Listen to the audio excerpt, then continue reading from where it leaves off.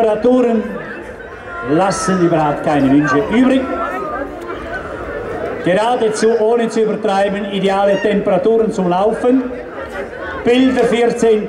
Dezember, kein Mensch könnte das denken. In dieser Zeit trocken, Föhnstimmung, heute Nachmittag 10 Grad und auch